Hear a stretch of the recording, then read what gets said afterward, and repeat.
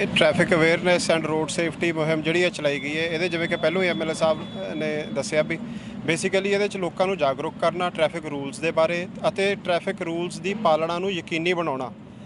ਉਹਨਾਂ ਨੂੰ ਇੰਨੀ ਕੁ ਅਵੇਅਰਨੈਸ ਪੈਦਾ ਕਰਨੀ ਵੀ ਇਹਦੇ ਨਾਲ ਇੱਕ ਸਿਰਫ ਜਿਹੜਾ ਬੰਦਾ ਡਰਾਈਵਿੰਗ ਗਲਤ ਕਰ ਰਿਹਾ ਹੈ ਜਾਂ ਰੂਲਾਂ ਦੀ ਜਿਹੜਾ ਉਹਨਾਂ ਨੂੰ ਫੋਲੋ ਨਹੀਂ ਕਰ ਰਿਹਾ, ਉਹ ਆਪਣੀ ਜਾਨ ਨੂੰ ਹੀ ਰਿਸਕ 'ਚ ਵਿੱਚ ਨਹੀਂ ਪਾ ਰਿਹਾ, ਉਹ ਪਬਲਿਕ ਦੇ ਵਿੱਚ ਹੋਰ ਜਿਹੜੇ ਲੋਕ ਹੈਗੇ, ਉਹਨਾਂ ਦੀਆਂ ਜਾਨਾਂ ਨੂੰ ਵੀ ਉਹ ਰਿਸਕ ਦੇ ਵਿੱਚ ਪਾ ਰਿਹਾ ਸੋ ਬੇਸਿਕਲੀ ਇੱਕ ਅਵੇਅਰਨੈਸ ਕ੍ਰੀਏਟ ਕਰਨ ਵਾਸਤੇ ਹੈ ਤਾਂ ਕਿ ਟ੍ਰੈਫਿਕ ਰੂਲਸ ਜਿਹੜੇ ਨੇ, ਉਹਨਾਂ ਨੂੰ ਵੱਧ ਤੋਂ ਵੱਧ ਫੋਲੋ ਕਰਵਾਇਆ ਜਾ ਸਕੇ ਤੇ ਕੀਮਤੀ ਜਾਨਾਂ ਅਤੇ ਮਾਲ ਜਿਹੜਾ ਹੈ ਉਹ ਬਚਾਇਆ ਜਾ ਸਕੇ। ਸੜਕ ਸੁਰੱਖਿਆ ਮੁਹਿੰਮ ਚਲਾਈ ਜਾ ਰਹੀ ਹੈ। ਸਾਡੇ ਧੂਰੀ ਦੇ ਸਾਡੇ ਟ੍ਰੈਫਿਕ ਇੰਚਾਰਜ ਸਾਹਿਬ ਵੱਲੋਂ, ਡੀਐਸਪੀ ਸਾਹਿਬ ਵੀ ਨਾਲ ਨੇ ਦੇਖ ਰੇਖ ਕਰ ਰਹੇ ਨੇ ਤੇ ਇਹਦੇ ਚ ਅਸੀਂ ਇੱਕ ਜਿਹੜੇ ਸਾਈਨ ਬੋਰਡ ਹੁੰਦਾ ਕਿਹੜੇ ਨਿਯਮਾਂ ਦੀ ਸਾਨੂੰ ਧਿਆਨ ਰੱਖਣਾ ਚਾਹੀਦਾ ਡਰਾਈਵਿੰਗ ਕਰਦੇ ਹੋਏ ਸਮੇਂ? ਕਿਉਂਕਿ ਅੱਜ ਕੱਲ ਤੁਸੀਂ ਦੇਖ ਸਕਦੇ ਹੋ ਸੜਕਾਂ ਤੇ ਬਹੁਤ ਇਹੋ ਜਿਹੇ ਐਕਸੀਡੈਂਟ ਹੁੰਦੇ ਨੇ ਜਿਹੜੇ ਆਪਾਂ ਬਚਾ ਸਕਦੇ ਹਾਂ। ਯਾਨੀ ਕਿ ਲੋਕਾਂ ਨੂੰ ਜਾਗਰੂਕਤਾ ਮੁਹਿੰਮ ਇਹ ਜਿਹੜੀ ਸ਼ੁਰੂਆਤ ਕਰੀ ਗਈ ਆ।